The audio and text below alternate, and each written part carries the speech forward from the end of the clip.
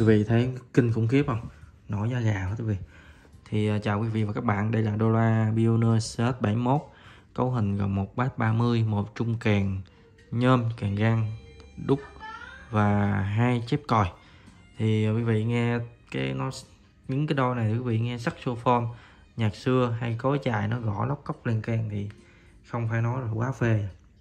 Bây giờ nghe nhạc nha quý vị tô tua bài này đi ha.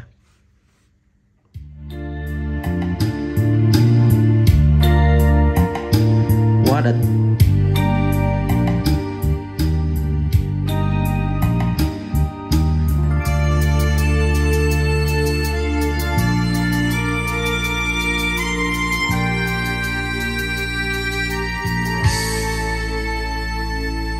Giữa lòng trời quy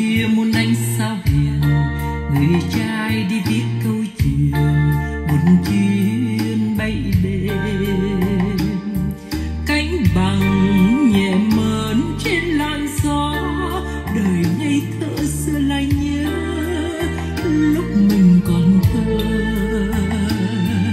Nhìn trời cao mà sao mà mơ ước như diều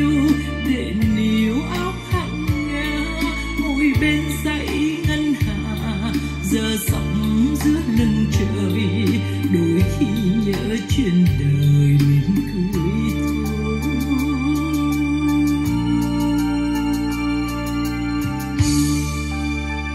đến đây chuyến bay trời xanh như màu áo đường mình đến nhạc du tâm tình đầu tranh thương hai đứa giờ gội xuống nơi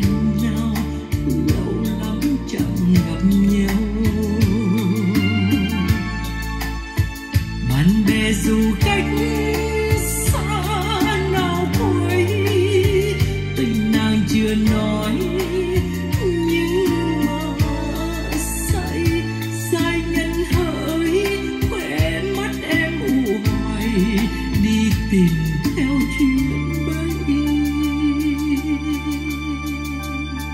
quá đỉnh quý vị ơi.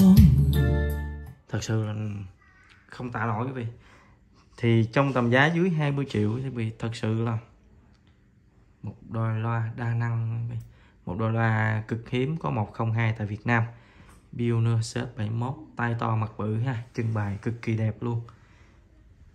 Đấy, zin nguyên bản. Thì tình trạng thì em có quay một cái clip trước rồi lúc này em chỉ test chất âm để quý vị thưởng thức chất âm của em nó vì nhiều quý vị cũng ờ, hỏi em có test chất âm chưa. Thì em chỉ ghép ghép với đơn giản là một con amply Pioneer. SX650 với tầm giá dưới 5 triệu thôi quý vị. Mà chất âm nó đã tuyệt vời như vậy rồi. Đấy. rồi thì phần còn lại thẩm âm thì cho quý vị nha Đấy, quý vị à, cứ đánh giá thoải mái.